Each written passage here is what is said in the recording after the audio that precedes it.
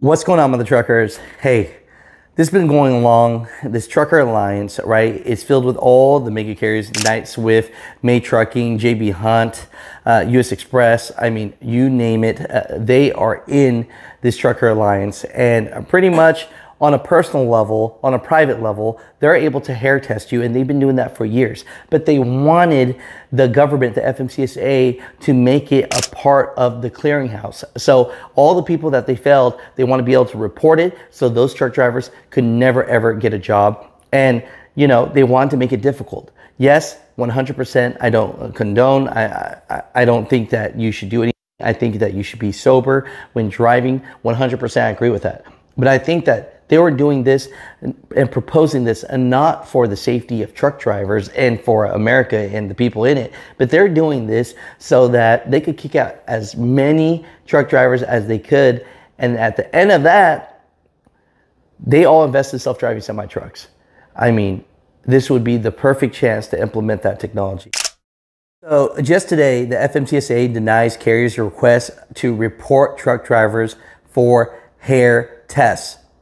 You know, um, the exemption aimed at identifying use is beyond agency's authority, FMCSA's Hutcheson's asserts. So pretty much uh, Hutcheson's, the one that runs the FMCSA, says that it's out of their scope and they can't do anything about this. So Robin Hutcheson argues that federal statutes prevents her from approving a test exemption that some of the nation's largest trucking companies argues would have kept thousands of abusing drivers off the roads. So pretty much she's just saying that it's out of her scope and she can't do anything about this. And because of that, uh, yeah, she denied their claims. And so as of now, uh, you do not have to worry about on a federal level to get hair tested. Now, if you go work for these companies, these mega carriers, they're a private company, they're allowed to do whatever they want and they can test you. But as far as the federal level, hey, you're still safe, you know. So, mother truckers, comment down below. What are your thoughts about this? Um, do you agree? Do you disagree? I was thinking, honestly, the mega carriers weren't doing this for safety. I was thinking that they were doing this more because they want to have more control of the industry.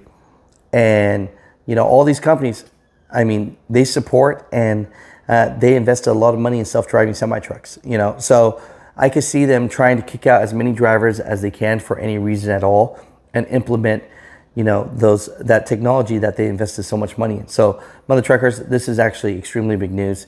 And, you know, uh, again, I don't condone anyone doing anything. Uh, drive, be professional, be sober. But for all the things that that would connect, uh, I think it was a good thing for the industry that uh, the FMCSA denied uh, it. And so, yeah, comment down below.